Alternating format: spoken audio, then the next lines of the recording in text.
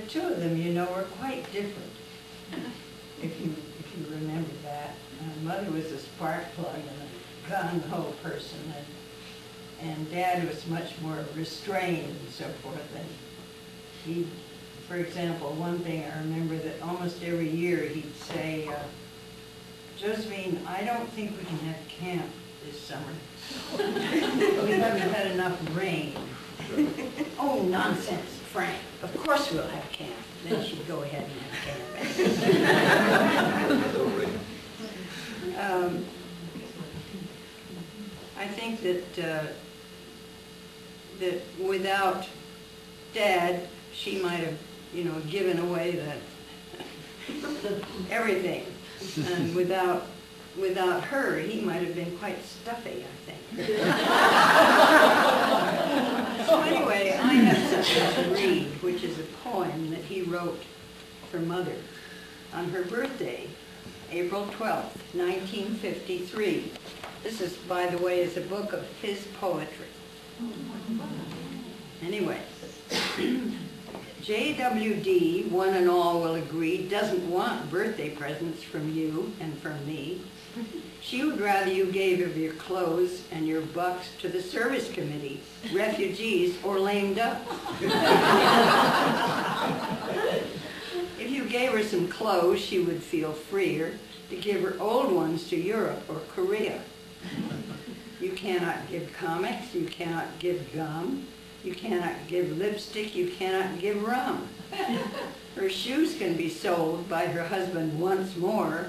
Her glasses can come from Woolworth's 10-cent store. Surprise party I gave once and only did find she had a committee to that day assigned.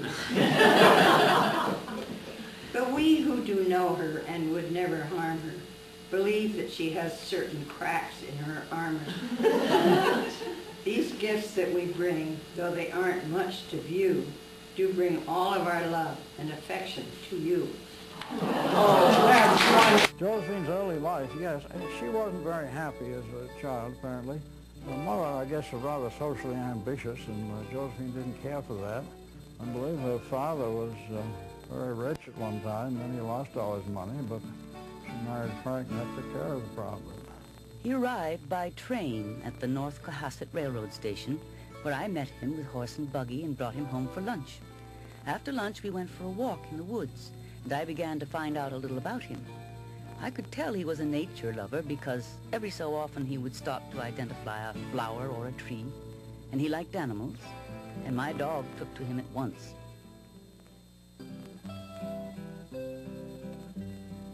This is a portrait of my dad, painted by his father, Frank Duveneck Sr., a well-known American painter and teacher who had studied in Munich. These are his students. Painted this in Venice. This is also in Venice. This is a portrait of his mother, Lizzie Boott. After a long courtship, they settled in Florence, Italy, where Frank was born in 1886. In 1888, the family moved to Paris, at that time the art center of the world. Lizzie contracted pneumonia in the winter and died, leaving a small child and a bereaved husband behind. Dad was brought back to this country to be raised by his mother's family in Waltham, Massachusetts.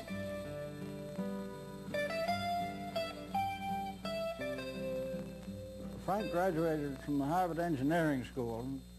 He followed his interest into what he cared about, which was engineering, good at mathematics and physics, and uh, didn't care an awful lot about law and religion and all that stuff.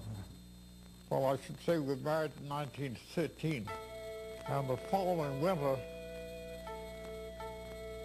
we went to Japan and China. And this was somewhat of a new thing that wasn't done at that time. He was working in the Merrimack Mills there as an, as an engineer. Came home tired and closed the door, but that didn't stop the wind from blowing in under the door. Made the carpets fly around, and it was snowing. He said, Josephine, have you had enough? she said, yes. well, he decided to come to California.